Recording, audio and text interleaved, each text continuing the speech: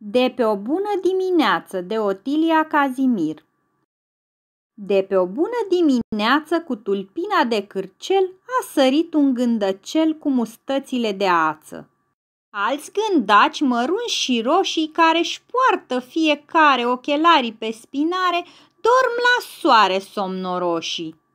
Iar pe un fir de păpădie ce se înalță drept din iarbă sui un cărăbuș cu barbă în hăinuță aurie suie mândru și grăbit să vestească în lumea mare, prea cinstită adunare, primăvara a sosit.